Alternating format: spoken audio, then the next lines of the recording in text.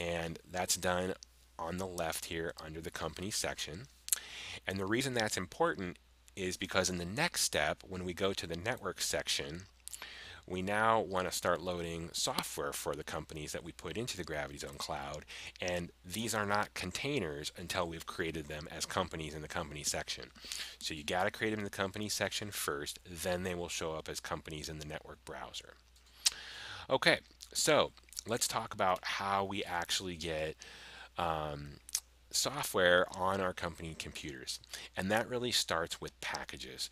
The, what Bitdefender does is they have uh, installation packages that they allow you to create. And the idea here is if you're a technical service company and you have, you know, 20 companies that you're doing technical service for, you could create multiple packages for each one of those companies. Why would you do that? Well, different companies have different needs. Let's go into the package creation process and you'll kind of see some of the options that are available. So you'll see that they break it down by modules right here. So let's say you had a customer that said, hey, I'm never going to need the firewall. That's just not something that I would want. And I don't think I would ever need device control. So you can go in here. Let me just go ahead and uh, select a company to assign these to. Here's another reason why you need companies is because you need uh, a company to assign the package to. I'm going to go ahead and select these for our XYZ landscaping company. And let's say that XYZ landscaping, I just didn't feel like they needed the firewall piece and they'll never need the device control piece. Well, it's best to leave them with the most efficient product possible, which means we're going to take out what they don't need. And so they're going to use content control and advanced threat control, um, and those are the only other additional modules. You'll notice here what is grayed out is anti-malware, which means there's no way you can deselect that. Everybody's getting anti-malware in this package. It's not a, a possibility to turn that on or off. But this is kind of the start of different packages. Some companies will have a package with a firewall firewall, some will have without. Um, it's just different options. This power user feature is kind of interesting. This gives the user the ability to disable their scan engines. Now, at first glance, you might say, well, why would I ever want to give an end user um, that power? Sometimes it's necessary. We have, uh, for example, a tax accounting firm I was talking to recently where they uh, install and uninstall their accounting software often. And so when they do that, they need to be able to turn off the scanning modules.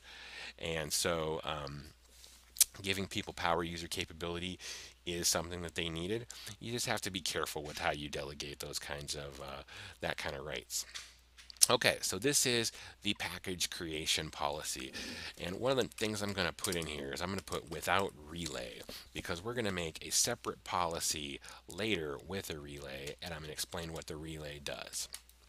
Okay, so we've made a package. It's our test package without relay. And now I'm going to make a second package.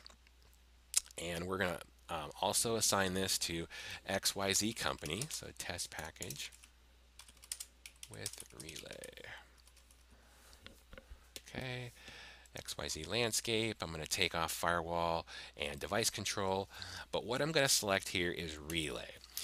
What is relay? What does he do? He's actually very important to the Bitdefender process. So what relay does is if you're installing Bitdefender on a machine with 20 computers, it would be nice if we could have a way to scan that network to find all the machines on the network, all the machine names, and then remotely deploy software to all those machines so we didn't have to physically go to each one. The relay enables that.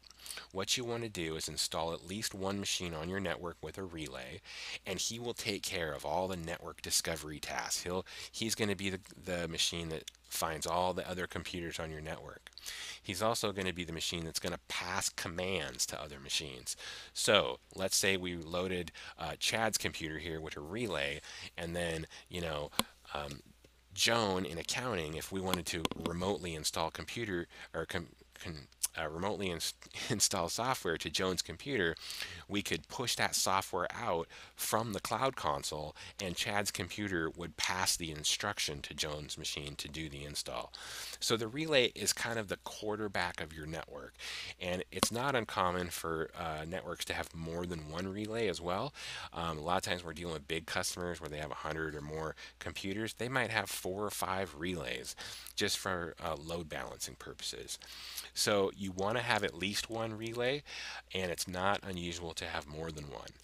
So here's our packages here. We've set up a package with relay. We've set a package without. For most users, they don't need relay. Um, like I said earlier, like let's say you had 20 computers, you probably want to have one or two relays. That's probably it. The average user, you don't want to burden their machine with these with this slight extra um, data transmission that's required for a relay machine. Um, a lot of our customers where we're dealing with like an IT administrator, a lot of time the IT staff will set up their machines as relays and then all the end users don't get the relay software. So anyways, setting up package is probably the next step to do. Like we uh, went over in video one setting up companies is one and then number two is setting out um, the packages. So now our next step is to how do we deploy those packages to our computers so let's go over that real quick. We're going to go ahead and install a relay package to this computer so that we can scan this network and see the other machines. To do the initial install, we're going to check the box next to test package with relay, and then I'm going to click the download button up here at the top. Then I select the appropriate download kit for my computer. Now this machine is a 64-bit Windows 7 Pro machine, so I'm going to select this download kit right here. And we're going to go ahead and save this file to the machine. And voila, we're going to come back and install this package in our